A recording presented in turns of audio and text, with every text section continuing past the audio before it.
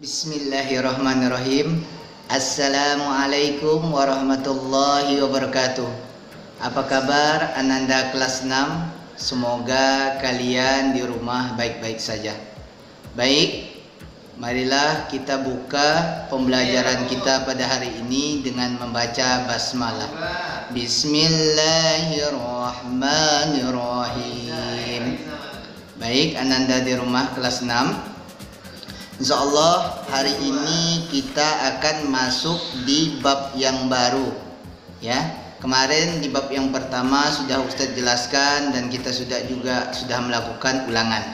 Insya Allah pada hari ini Ustadz akan menjelaskan tentang operasi hitung campuran bilangan cacah.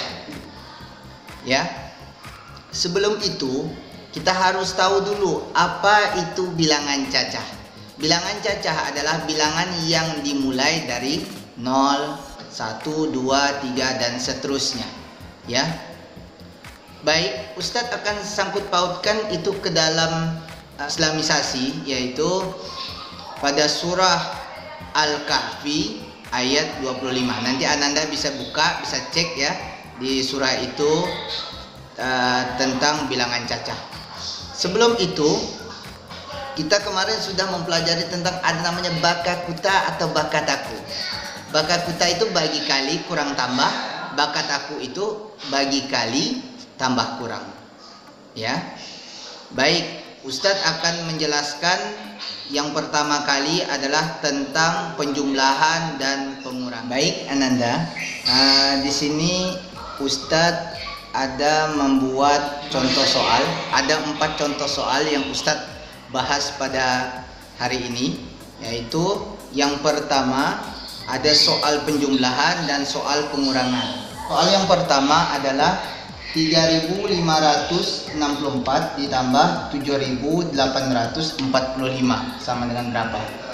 Terus yang kedua 4785 ditambah 7483. Yang ketiga 3754 dikurang 1356 dan yang keempat adalah 5405 dikurang 3125 baik Ananda di rumah. Ingat tadi kita menggunakan rumus bakataku atau bakakuta.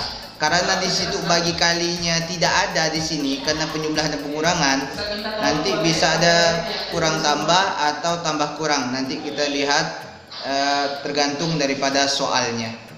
Baik, Ustadz akan menjelaskan satu persatu dari contoh soal tersebut.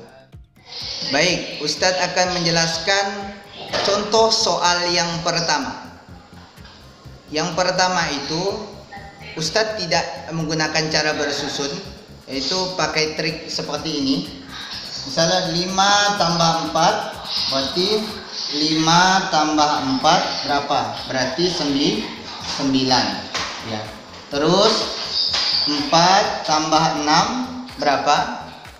10 Berarti tulis 0 simpan 1 di 5 Berarti 8 ditambah 5 13 tambah 1 14 simpan 1 habis itu baru 7 ditambah dengan 3 7 tambah 3 berapa? 10 tambah 1 11 jadi hasilnya itu adalah 11.409 contoh soal nomor 2 contoh soal nomor 2 ya. Tadi masih ya dengan cara yang sama. Berarti 3 ditambah 5 berapa? Ya 8 habis itu 8 ditambah 8 nambah 16 simpan 1 di atas tuh 7 terus 4 ditambah 7 berapa? Sebe 11 tambah 1 12 simpan 1 di atas 4 terus 7 ditambah dengan 4 berapa? Sebe 11 tambah 1 12 jadi hasilnya itu adalah 12.268. Contoh soal nomor 3. Contoh soal nomor tiga ini tadi kan penjumlahan, sekarang pengurangan. Pengurangan Ustadz menggunakan cara bersusun ya. Biar lebih enak kalau pengurangan ini menggunakan cara bersusun. Terus di sini kita lihat 4 dikurang 6 bisa atau tidak? Tidak pinjam satu sisa 4. 14 dikurang 6 berapa? Dapat 8. Ya. Terus habis itu 4 dikurang 5 bisa atau tidak? Tidak. Pinjam satu lagi sisa eh, 6. 14 dikurang 5 berapa? 9. Terus 6 dikurang 3 bisa atau tidak? Bi bisa dapat di 3. 3 dikurang 1 2. Maka hasilnya adalah 2398 soal yang terakhir yaitu contoh soal nomor 4 baik sama dengan contoh soal nomor 3 ya. Tinggal dikurangi saja. 5 dikurang 5 berapa? 0 0 dikurang 2 bisa atau tidak? Tidak. Pinjam 1 sisa 3 10 dikurang 2 berapa?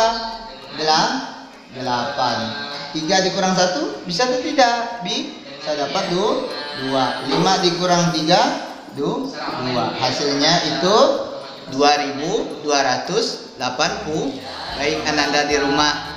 Gimana? Mudah bukan? Semoga kalian tetap semangat belajar di rumah ya. Semakin semangat untuk untuk menggali uh, atau mengulang-ulang kembali materi yang berhubungan dengan matematika kelas 6 baik mari kita tutup dengan baca hamdalah dan doa kafaratul majlis. Alhamdulillahi rabbil alamin. Subhanakallahumma wa bihamdika asyhadu an la ilaha illa anta astaghfiruka wa atubu ilaik. Assalamualaikum warahmatullahi wabarakatuh